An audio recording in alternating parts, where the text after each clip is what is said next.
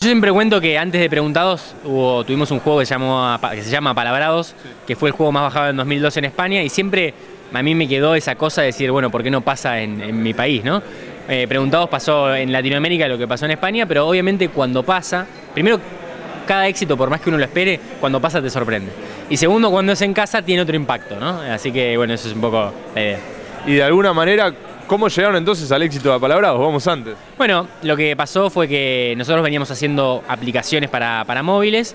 Quisimos, o quise en realidad, hacer eh, un producto que no involucrara a otra empresa, o sea, no un producto para una empresa, sino para el...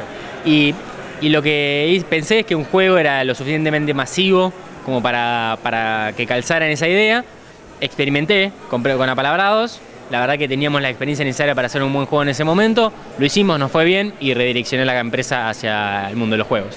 De alguna manera, eh, hoy ya con el éxito de apalabrados y con el éxito de preguntados, ¿qué diferencias ves entre los usuarios de Argentina y los de España si es que existe para que el éxito sea en un sector y no en el otro? Mira, en realidad es difícil de, de recontestar esa pregunta que me la hago todos los días, por supuesto.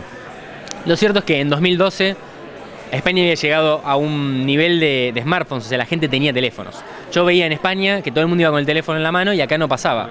En 2014 pasa hoy en Latinoamérica, entonces uno ve a gente con iPhone, con Android en general. Esa masa crítica es necesaria para poder viralizar un juego y para que se contagie de uno a otro y explica un poco por qué pasó en toda Latinoamérica al mismo tiempo. Porque pasó, esto que estoy diciendo pasó en toda Latinoamérica al mismo tiempo.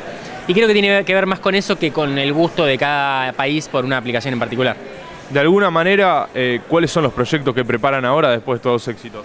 Bueno, estamos preparando una versión de, preguntados de, temas específicos, como para que la, gente, claro, como fue la del Mundial, pero aparte que la gente pueda hacer sus propios preguntados. O sea, vos puedas, sos profesor de química y puedas tener tus preguntados, sos de History Channel y puedas tener tus preguntados, sos el club River Plate y puedas tener tus preguntados. Entonces, para que la gente empiece a utilizarlo más como un, un ida y vuelta y no tanto como un ida como es hoy.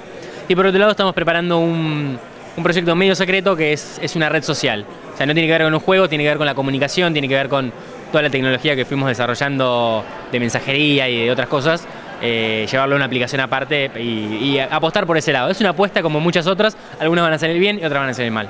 De alguna manera, ¿cómo es Argentina en el desarrollo de aplicaciones respecto a, los logros en otros lugares del mundo? Bueno, en Argentina hay mucho talento.